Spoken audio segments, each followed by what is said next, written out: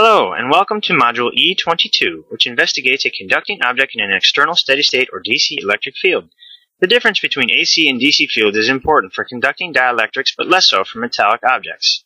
Note in relation to an external steady-state field, the surface of a metallic conductor or lossy dielectric is the equipotential surface with constant charge and no tangential electric field. There is zero field within the component.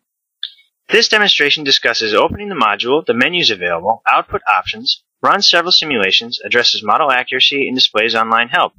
To begin, run the module in MATLAB and the default geometry is displayed. There are several types of objects available, including plates, cylinders, spheres, and bricks. The properties of the object, including the object center, rotation about an axis, and the number of triangles used in the simulation, can be modified as necessary. The direction and the magnitude of the external or incident electric field may also be changed along with a customizable output display. After making all desired changes, press the Update button to implement these changes, and press the Simulate button to start the simulation. After simulations are complete, the electric potential in a plane, along with the surface charge distribution on the object, is displayed. The output figure may also be modified by plotting the total electric field. The field strength is represented by different sized arrows. A separate window may be opened, and the simulation domain can be rotated to facilitate viewing of the object and enhance the benefits of the module.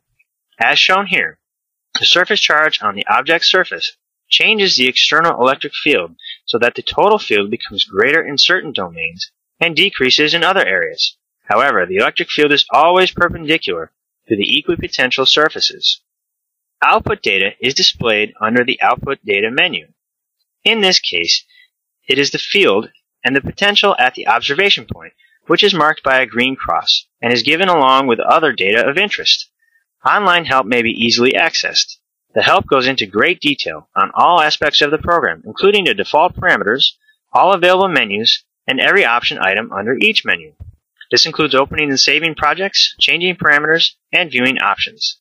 The help also includes recommendations for producing fast and accurate simulations. When exiting the program, the current configuration can be saved for later use and easily reloaded. Model accuracy is quite good as compared with the analytical solution for a metallic sphere.